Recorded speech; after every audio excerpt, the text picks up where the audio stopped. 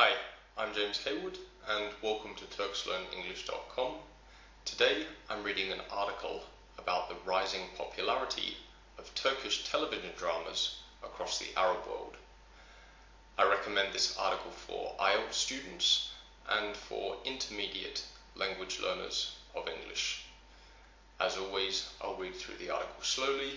I recommend you listen to the video as many times as you need to learn the new words in context. The article is called The Rise of Turkish Soap Power.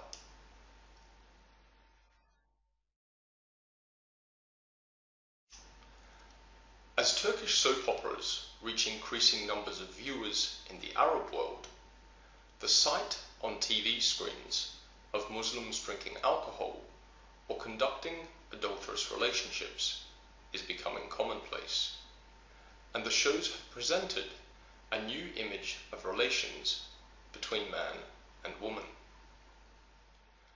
At the start of the protests that recently swept Turkey, journalists picked out one man with a luxuriant beard among the youthful crowds in Istanbul's Taksim Square.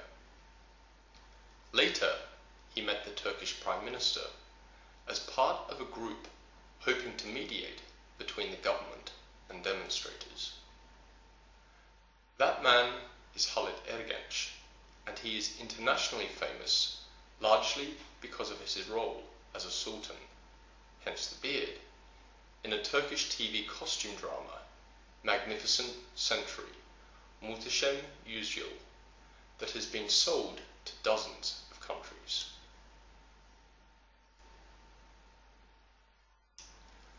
Set in the Ottoman world, it spins the yarn of Suleiman the Magnificent, the longest reigning sultan, and his love for a Western woman in his harem, with whom he becomes obsessed and eventually marries.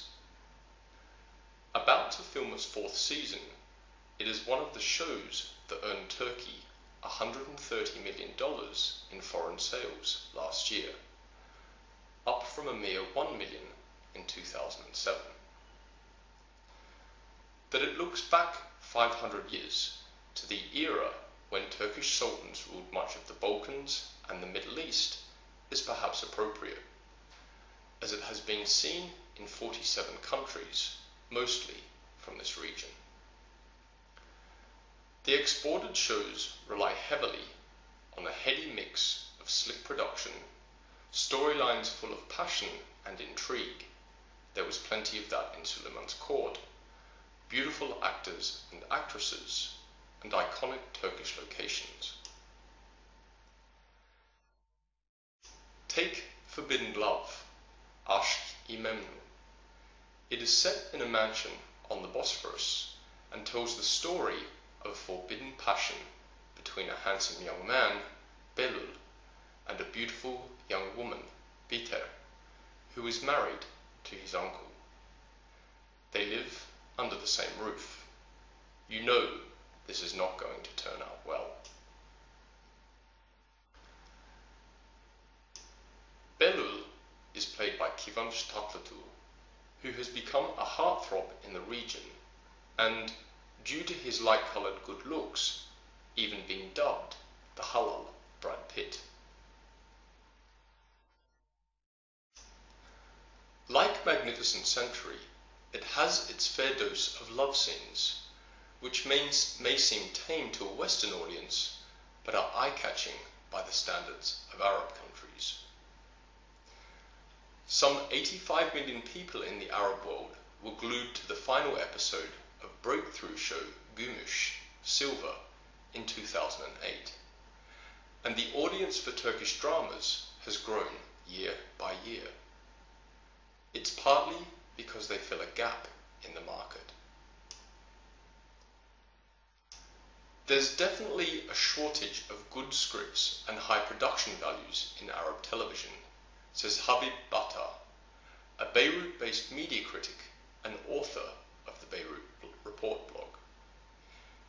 It's one thing if there were a couple of popular Turkish series, but they are on every single major Arab channel.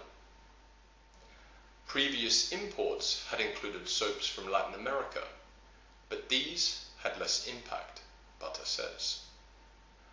One reason for this is that they were dubbed into classical Arabic, while the Turkish dramas began in 2007 to be dubbed into Assyrian dialect. Okay, it's a long article. I'm going to stop there. Uh, it's an interesting one for Turks. So thanks for joining us today. Remember that these videos form part of our overall conversation class program. If you're interested in taking up a free lesson, come over to turkslearnenglish.com and you can sign up for a free trial conversation class here. Remember to follow us on Facebook and also on Twitter. And finally, why not subscribe to this YouTube channel so that you can keep up to date? Thanks for joining us.